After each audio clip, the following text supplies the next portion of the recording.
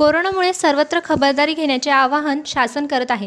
तर दिवाळीत फटाके वाजू नये असे आवाहन काही घटक करत आहेत.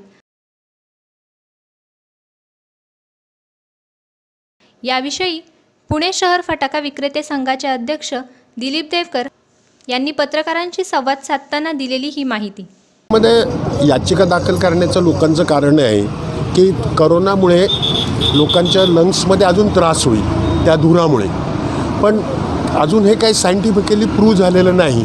याच्यापूर्वीही कोर्टात सुप्रीम कोर्टात याचिका दाखल झालेल्या आहेत की धुरामुळे त्रास होतो आणि तर सुप्रीम कोर्टाने फक्त निकष बदलायला सांगितले जसं गाडीला बी फोर का काय ते नवीन एन एन्व्हायरमेंटप्रमाणे तुम्ही रूल्स बसवले असे त्यांनी रूल्स टाकलेले आहेत की हे हे केमिकल किती वापरावं हे हे केमिकल किती वापरावं की जेणेकरून विना आवाज आणि कमी प्रदूषण होईल असे फटाके निर्माण करायचे.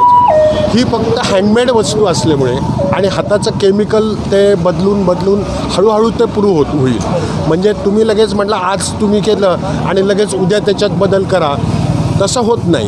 त्याचा प्रयोग करावा लागेल. प्रयोग करून मग तो प्रूव्ह झाला सायंटिफिकली एक दोन वर्ष त्याच्यामध्ये निश्चित जाते आणि तेव्हा तुम्हाला पोल्युशन फ्री किंवा अगदी कमी दुराचं असं ते होईल. फटाक्याचा व्यवसाय हा वर्षभर चाललेला असतो.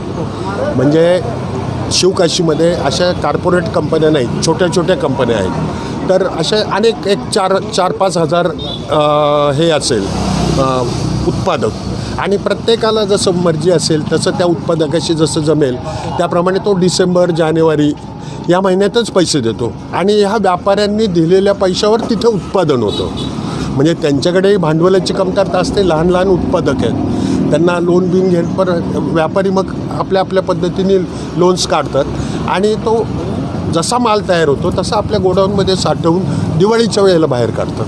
त्यामुळे याचिका दाखल करा किंवा त्यांचं काही चूक आहे असं नाही. सुप्रीम कोर्ट किंवा जे हायकोर्ट आहे तो योग्य तो निर्णय देईल. ह्यापूर्वीसुद्धा याचिका दाखल झालेल्या आहेत. आणि त्याचे रिझल्ट्स अजून पेंडिंग आहेत. सुप्रीम कोर्टाने आम्हाला आदेश दिलेले आहेत. त्या आदेशाप्रमाणचं पालन करून एक्सप्लोजिव्ह डिपार्टमेंट आमच्यावरती आहे. त्याचं ते पालन करून ते फटाके निर्माण करून तशा पद्धतीचे फटाके विकतो छावा न्यूज हंड्रेड मराठीसाठी पुष्पेंद्र गद्रे पुणे.